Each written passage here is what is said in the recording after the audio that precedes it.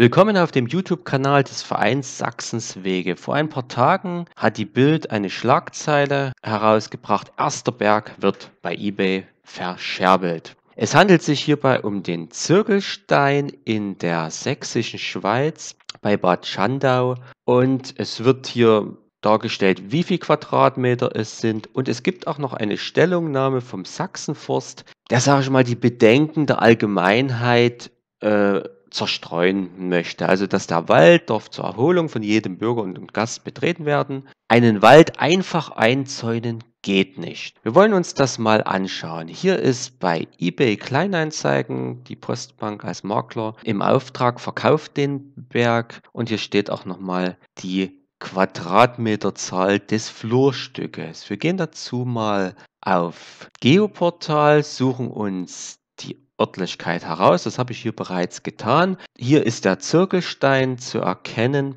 und das Flurstück Nummer 12-6. Wir klicken hier drauf und erkennen, dass es sich also wirklich nur um dieses eine Flurstück handelt mit 8,2 Hektar. Der Zirkelstein ist für die Gegend ein beliebtes Ausflugsziel, hat sogar einen eigenen Wikipedia-Eintrag und hier kann man auch äh, schön lesen, eben diese Wege zum Gipfel, dass der Zirkelstein am besten von Schönau aus über eine gelb markierte Wanderroute zu erreichen ist, die an seinem Fuß vorbeiführt. Weiter, der Gipfel selbst ist über Treppen und Leitern besteigbar.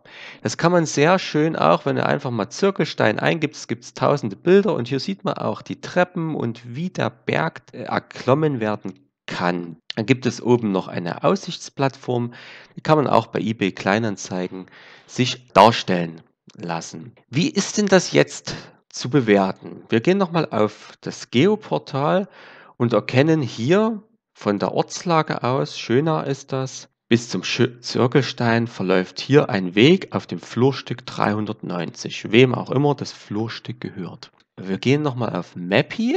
Hier kann, können wir uns sehr schön die Wanderkarte uns anzeigen lassen und erkennen also einen gelb markierten Weg, gelber Balken, der sogar auf einen Radfernwanderweg dann im Wald dann mündet. Also wir befinden uns hier in einem touristisch sehr interessanten Gebiet und den meisten dürfte sogar der Malerweg äh, bekannt sein, der noch ein wichtigerer Hauptwanderweg ist.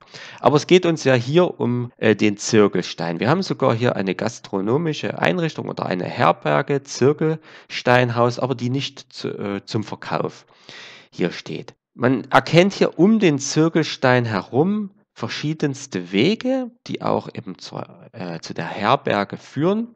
Und die Flurstücksgrenze, gehen dazu mal auf unsere Seite nochmal, ist genau hier.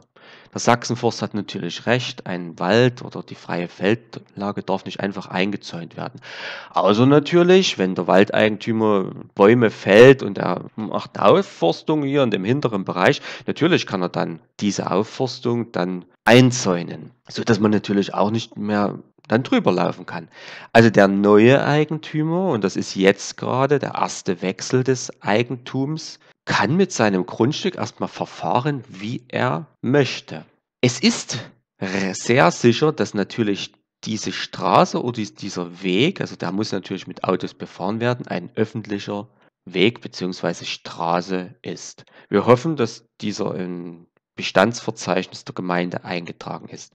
Dieser öffentliche Weg geht auch hier weiter und durch den Wald durch. Hier sieht man ja auch eine Kleingartenanlage oder Bungalow-Siedlung oder was es hier gibt. Und wo er dann hier auftrifft, auch auf diesen Fernradwanderweg. Dieser Weg ist kein separates Flurstück, das ist aber für die Widmung eines Weges irrelevant, denn die Widmung liegt immer bildlich gesprochen über dem Eigentum. Also der Weg ist gesichert.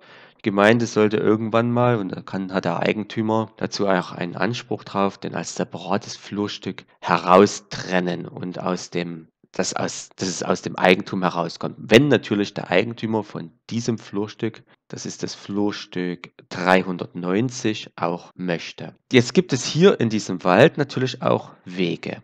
Die kann man begehen, die kann man auch mit dem Rad befahren.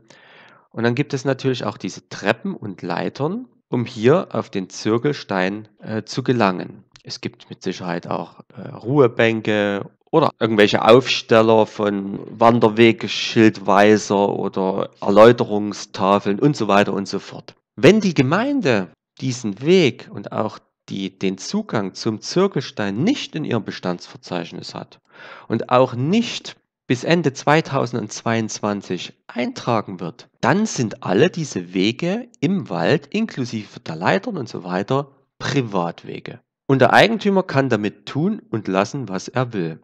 Und ob der neue Eigentümer oder der Eigentümer, der in 40 Jahren dann Eigentümer ist, wir wissen ja nicht, wann wieder ein Wechsel des Eigentums geschieht, kann also tun und machen, was er möchte. Er kann also diese Leitern und Geländer demontieren, weil es ihm einfach zu gefährlich ist, wenn jemand auf diesen Berg äh, klettert.